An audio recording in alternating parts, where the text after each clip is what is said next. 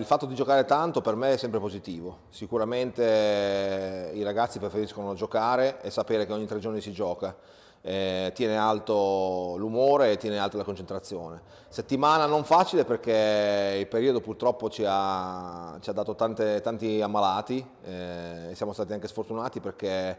eh, non tutti insieme, cioè recuperiamo uno, ne perdiamo un altro con febbre e malanni di stagione, però niente di grave, siamo, siamo pronti. Avete giocato anche un amichevole contro il Carpi la settimana scorsa a Rimini, eh, un po' per testare il video replay eh, e questo è servito naturalmente alla federazione e al settore arbitrale e voi avete invece testato, se non ho visto male, anche un sistema difensivo più aggressivo, insomma su che cosa state lavorando in questo periodo? Sì, come dicevi tu, un amichevole che non, non, eh, non, ci fa tanto da testo, non, eh, non, è una prova del 9 perché è stata più per aiutare il settore arbitrale. Siamo andati volentieri a fare questo amichevole contro Carpi perché per noi ogni partita è, è sempre buona, è un'esperienza in più, però non possiamo prendere tante informazioni da questa partita che è stata molto spezzettata, ma come hai visto bene stiamo provando una difesa nuova. Il nostro obiettivo è avere almeno due difese per insegnare ai ragazzi a difendere in 6-0 e lo stanno facendo già abbastanza bene, abbiamo i nostri principi ben saldi nella testa e adesso stiamo cercando di insegnare loro una 5-1 molto aggressiva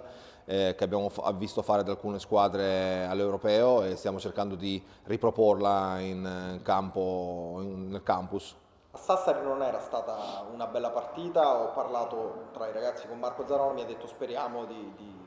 insomma, di invertire la rotta, di offrire una prestazione sicuramente diversa. Ah sì, guarda, noi non abbiamo obiettivi di campionato, nel senso che vincere o perdere a noi cambia poco. Ci diamo dei micro obiettivi in settimana e uno di questi obiettivi è appunto cercare di fare bella figura con Sassari perché eh, nel giorno di andata insieme a Conversano e Fasano sono state forse le nostre tre peggiori partite dove il divario è stato veramente ampio. Eh, sono tre squadre costruite per vincere, nettamente più forti di noi, ma credo che se giochiamo meglio con la testa, più concentrati, possiamo possiamo diminuire questo vantaggio e il nostro obiettivo di questa settimana deve essere questo. Non sarà facile assolutamente perché Sassari, è, ripeto, è una corazzata, però il nostro piccolo obiettivo per questo weekend deve essere proprio questo, di accorciare il gap rispetto al giorno di andata. Sette mesi eh, in Serie Gold,